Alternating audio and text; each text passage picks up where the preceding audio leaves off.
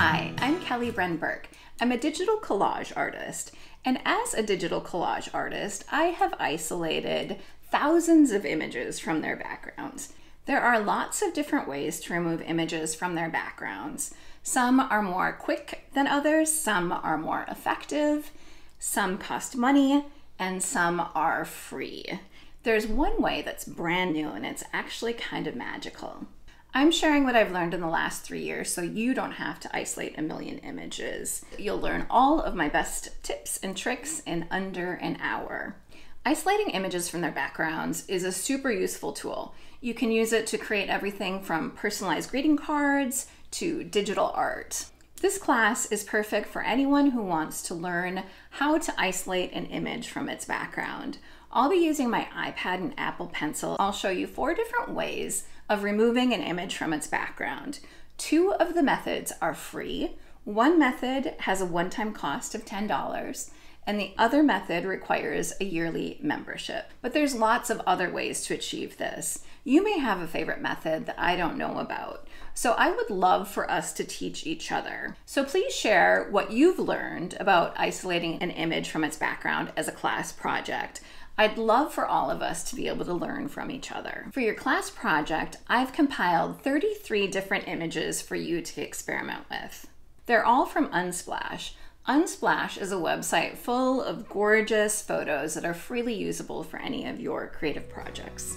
Are you ready to become a pro at isolating images from their background? Let's get started.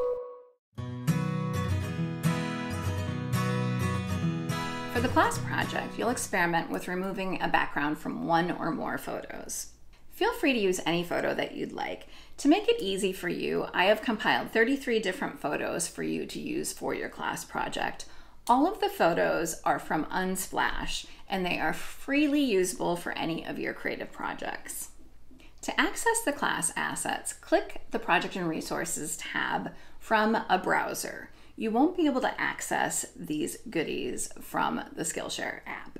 Feel free to use one or more of the methods that I teach in class, or you can choose an entirely different method. That way we can all learn from each other. I'll leave a comment back for every project uploaded. If you have any questions, I've got you. Click on the discussions tab. I'll respond to every question and comment. Are you ready to take the first step? Download the class resources. I will see you in the next lesson.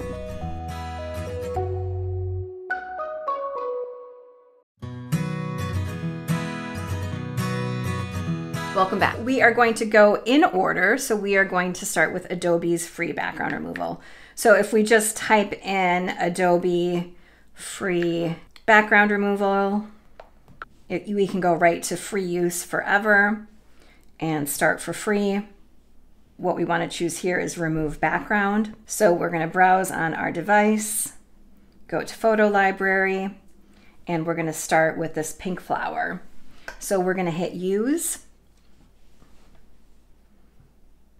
With this, all of the checkerboard area is a clear PNG background. Checkerboard always means clear. So it looks like it did a pretty good job. We'll be able to see more clearly once we get it into Procreate and give it a different colored background. So let's just hit download. So here's the pink flower within our download files. And you can see here that there's some white bits that Adobe did not remove like this area here and this area here. Other than that, it did a pretty good job. So let's keep moving. Let's upload a new photo. So let's hit photo library. And now we are going to try this smiling woman and we are going to hit use. And for this one, it failed to remove the background what it will say in this case is please try again. And in my experience, I've done a lot of experimenting with this. Some photos, Adobe will just not remove the background. I don't know if it's too hard for it with all the wispy hairs or whatever. Let's try it one more time.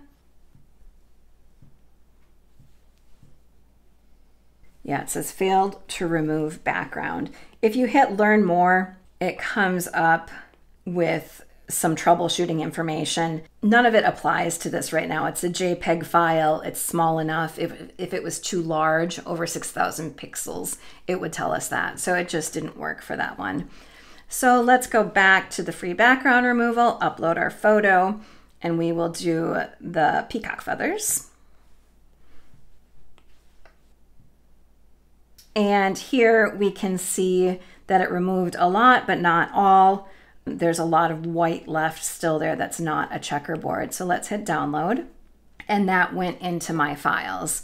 We're going to be doing Canva next, but first, so we don't get confused, let's import what we've done already. And those went to our files. So I'm going to go to recent and files, and we have these flowers, the feathers, I should back up for a second. If you want to bring something into Procreate from your files, you hit import. And if you want to bring something into Procreate from your photos, you hit photo. Here is the result for our woman. It was saved to the camera roll. It did not work. So let's label all these so we don't get confused. So we are going to call these Adobe Flowers. We'll call this one Adobe Feather. And we will call this Adobe woman, fail. Let's arrange these into a stack so we have them together. So I'm going to hit select and I'm going to check all of these and then I'm going to hit stack. And we will call this stack background removal. So now that we know how Adobe did, we are going to go into our next automatic background removal, and that is Canva. I will see you in the next lesson for our Canva experiment.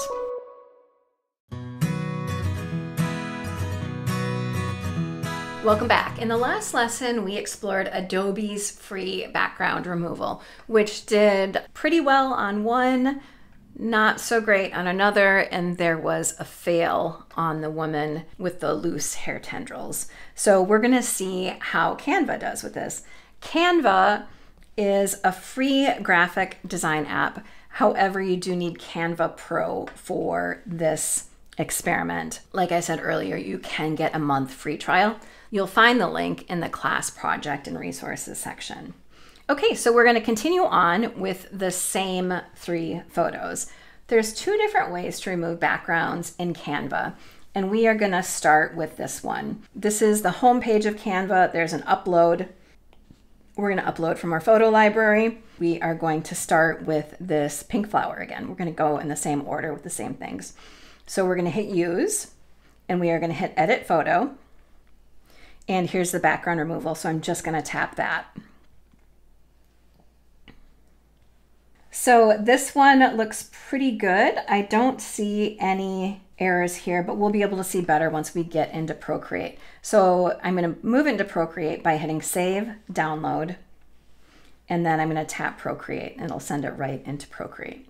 The second way to remove a background is if you are already within a template within Procreate. So if you would just tap Create a Design, and let's say we wanted to do an Instagram story we can go to uploads and we've already uploaded this file to Canva. If you wanted to upload a different file to Canva, you would hit upload files. And again, you could choose to upload from your photo library or from your files. So here is our pink flower and we are gonna hit edit image and background removal. And that was quick. So let's hit this arrow and hit save with transparency and put that into Procreate. Since we are in Canva, we'll just keep going with this upload method. Photo library, next is our friend here. I'm gonna hit use, edit photo, background removal. Canva did a really great job here with her wisps. That's a really challenging thing to get. So it looks like Canva did a great job here. So we are gonna hit save, download, and put it right into Procreate. Let's continue our experiment in Canva with our peacock feather, edit photo, background remover. That did a pretty good job. This is a pretty challenging thing for a background removal with all these little tiny wisps. So let's save that into Procreate and we'll look at it there. Okay, so this is our background removal stack, and these are our new things that we moved into Procreate. We will label this one Canva, and this is the Canva background removal. And this is a much smaller file, and this is the Canva from template. We did that from an Instagram story template. And this is our Canva peacock feather. Let's move these into our stack and we will look at them later once we have them all done. Next, we're doing iOS, but for now, let's move them by hitting select, boop, boop, boop, boop, and put them into this background removal stack. And they are all labeled. Okay, so we will be looking at the quality more closely after we do the iOS. The iOS background removal system is next. I will see you in the next lesson.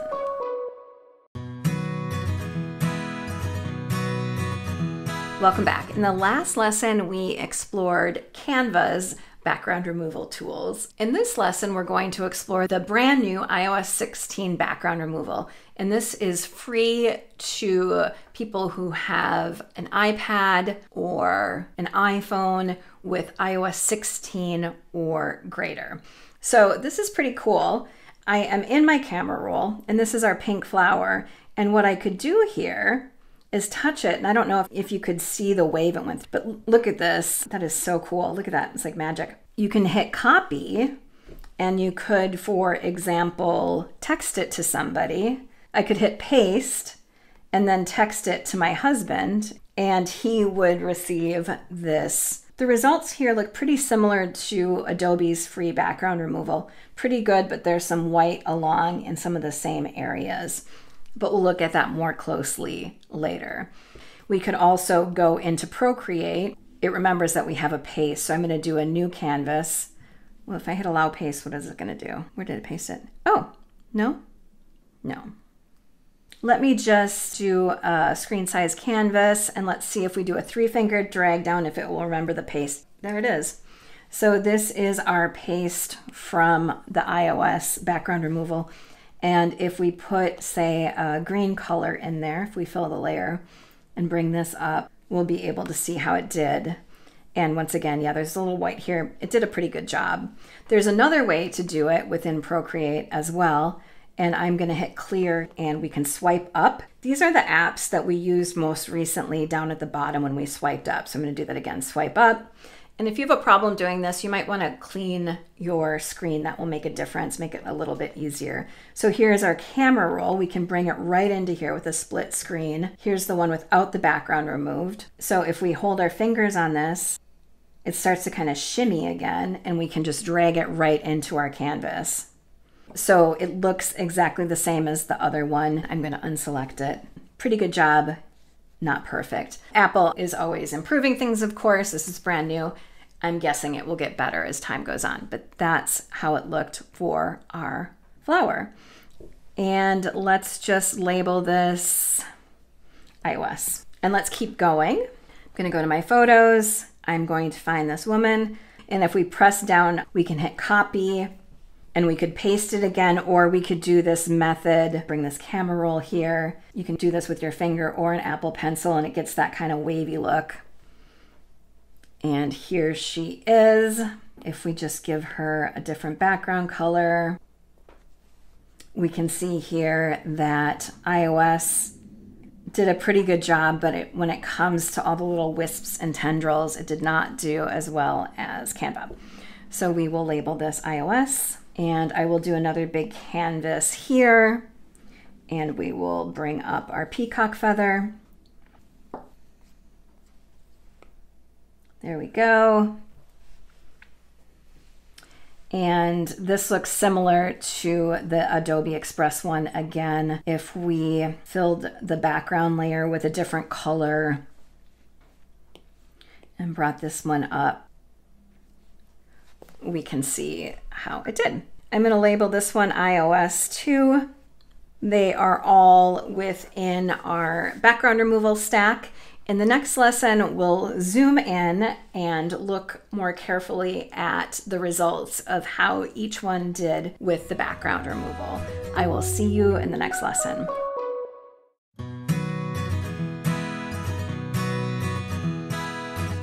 Wanted to take a moment and congratulate you. You are over halfway through this class. So good job. This is a quick class and we are going to keep going. Welcome back. In this lesson, we are going to zoom in and look at some of the finer details of the different automatic background removal options. So let's start with Adobe. I just want to make sure that I grab this color since we're using it so it'll be consistent through all of them. So this is Adobe and I'm going to fill this layer with that green, put the flower on top. Let's just do this so we can see them all more clearly.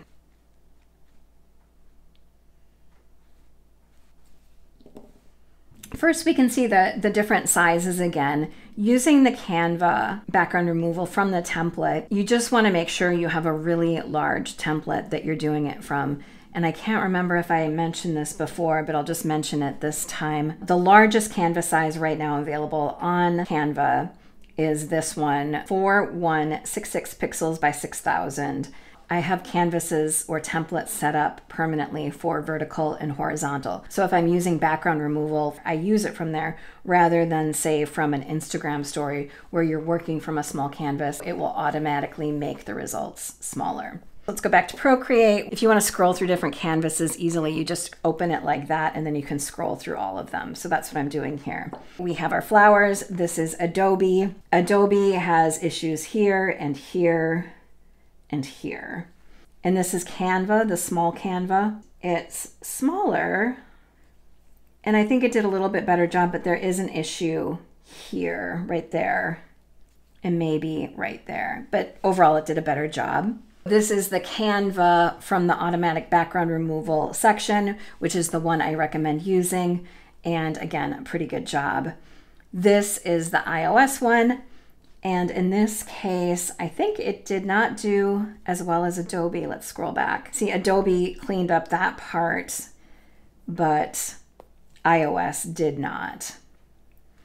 And I think there's this is an area that iOS didn't clean up right here as well. And I'll show you in the next lesson how we would tidy those up in Procreate. So in this one, I would say Canva is the winner. It has the cleanest background removal. Let's go on to this woman. So this was the Adobe option. It did not work. So this one is a fail. This is Canva. And let's put that same green color in there so we can see what we are looking at. So this is Canva from the background removal. This did a great job.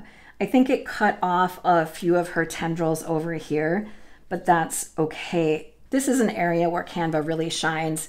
Getting those wisps is not easy. And this was iOS, and again, it did a pretty good job, except for the wisps. There's just these white areas around here. And Canva, this is pretty perfect. I think her tendrils were a little bit longer here, but you would never know it. And in this instance, Canva is the winner. Now let's move on to our peacock feather. And for that, we're using this peachy pinky background. So let's fill the layers. Okay, so going in order here is Adobe's free background removal. It didn't work. Adobe did not catch the finer details. This is Canva. Canva did a great job. If we zoom in, there might be some little tiny white things, but Canva did a great job. And this is iOS 16, and it was very similar to Adobe's free background removal. So here we go. Canva, once again, is the winner. Adobe background removal and the iOS background removal at this point in time are pretty similar. And if you just need a quick, simple project, they would work great. But when it comes to the ones with the finer details, the wisps and the tendrils, Canva really does a better job. In the next lesson, we're going to be looking at Procreate's free hand selection option for background removal. I will see you in the next lesson.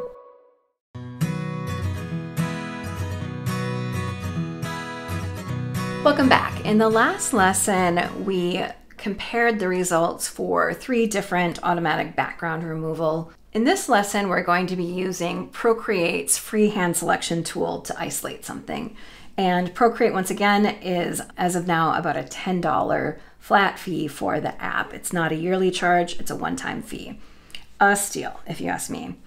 Let's go back to our class assets, and I'm going to use this little frog. So I'm going to choose this little frog, I'm going to hit the arrow, I'm going to hit view, and I am going to hit save to photos. And I am going to go into Procreate. I'm going to be in our same background removal stack, and I'm going to hit photo and import. So this is how we would do it by hand in Procreate. We would hit this ribbon and then we would hit freehand. So this is a freehand selection. And then we're tracing around our little frog.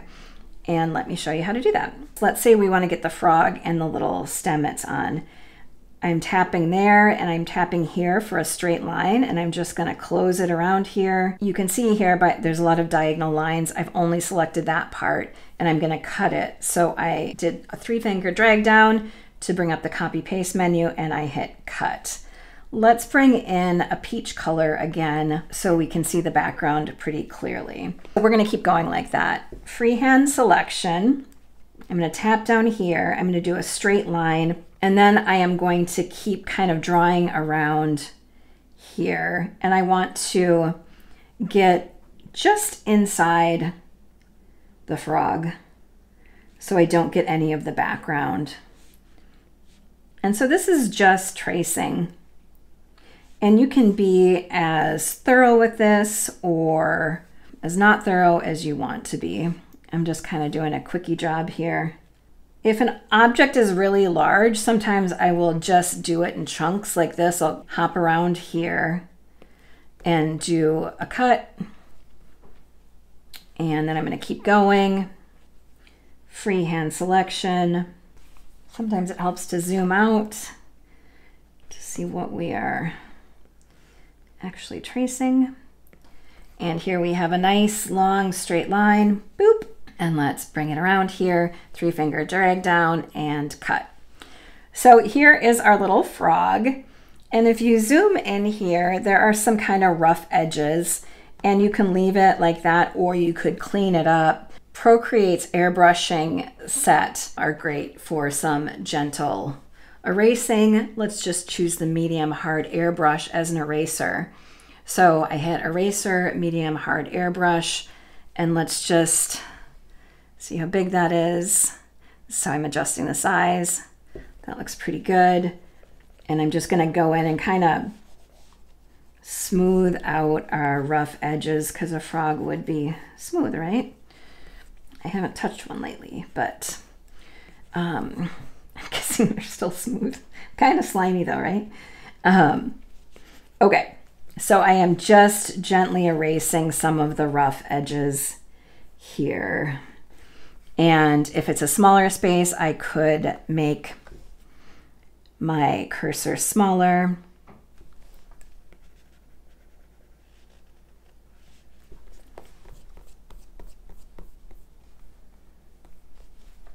Let's smooth out his little frog bottom. Okay, that looks pretty good. And if we wanted to save him with a transparent background, we would turn off the, the peach, we would turn off the background color. I could name him if I wanted to make it easier to find him. I think I will do that. Let's name him Green Frog. So wrench, share, PNG, and in this case, I would save it to my files rather than to my camera roll because PNG files take up more space in the camera roll. So what Apple does, it will keep it as a PNG for a while, and then afterwards, it will convert it to a JPEG. I isolated them from the background on Wednesday, and they've already been converted to a JPEG or something with a non-transparent background, and that's just to save space. So I'm going to delete my photo. And if we go back to our frog once again, there he's isolated, we can see that. But if I revisit this little frog in a couple days or a week, he probably will no longer have a transparent background. That's just something to be aware of. So save PNGs to your files rather than to your camera roll. If we wanted to go back and look at cleaning up some of these other ones, we could. This is our Adobe flower. We could use our freehand selection to clean it up. Selection, freehand, we could go in here and cut that. And it also, now that I'm looking at it a little bit more closely, has these white edges, which, you know, depending on your project, you might want it perfect or it might be okay to have these little imperfections. But again, I would use my airbrush to kind of clean these up. If we look at our feather, this is the feather from the iOS, which was similar to the Adobe background removal. There is no way we could really do this by hand. I mean, I have an eraser. What layer am I on? The wrong layer. Um, there's just no way it would be, well, I guess you could do it. It would be incredibly tedious and you wouldn't be able to get these little tiny details. I wouldn't even try it myself. This is the iOS hair one. This would be very difficult to clean up because of the wispy nature with either an eraser or with the freehand selection it would be very tedious work and it would be pretty imprecise. So, that is how you would use freehand selection in Canva to either remove the background or to clean up something else that you used an automatic background removal on. I will see you in the final lesson for a quick wrap up. I will see you there. Congratulations, you have completed this class. Thank you so much for joining me. We can all learn from each other about different ways to remove an item from its background, so please share what you've learned in the class project area. If you'd like lots more resources for digital art, please check out my website, kellybrenberg.com. If you'd like to learn more about digital art and collage, check out my other Skillshare classes. Want to be the first to know about new classes or bonus content? Follow me on Skillshare by clicking here. Thank you so much for joining me, and I hope to see you soon.